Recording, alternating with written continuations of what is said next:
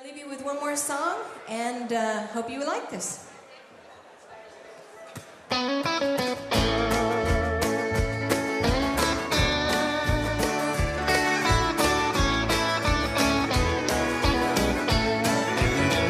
You look surprised. You didn't